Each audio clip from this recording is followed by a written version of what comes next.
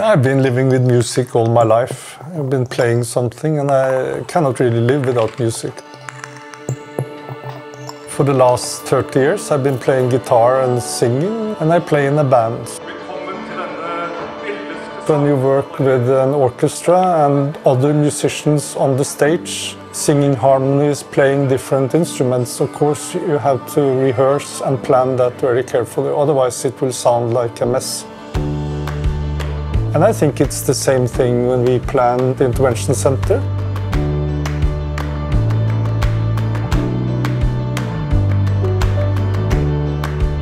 We have made drawings on every different uh, operation, how people should stand in the room and where the instruments and all the equipment should be placed. So that's very similar uh, to planning a concert or a theater performance. We have had a collaboration between this department and Siemens for uh, many years. We had numerous meetings, teleconferences, where we collected specialists from all departments in the hospital discussing with the team in Erlangen what type of procedures and what requirements each of these procedures would put on the equipment. The first steps was that we provided uh, some drawings, preliminary drawings, that we developed together with Erik and his staff until we both got satisfied also with the workflow and the technical aspects of the installation.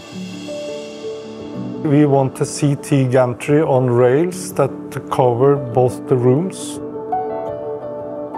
The interesting uh, thing with this is that we had to also incorporate a garage between the two suites. We were putting the Pheno in the 36 degree position so that uh, the patient didn't have to be moved when we were using the Pheno or the CT. And I think that you have to plan for exchange of equipment that shouldn't disturb the running of the department. That means that the easiest way is to exchange the equipment through the wall or through the windows. This hasn't been done before, and you cannot just take equipment made for a radiology department, put it into an OR, and say, no, you have a hybrid suite. You have to specially design it.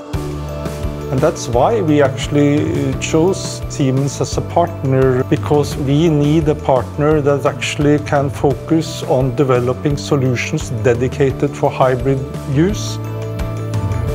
So it's very important to always plan for the unexpected, that some, you, you have the possibility to do something new. You create something that is bigger than yourself.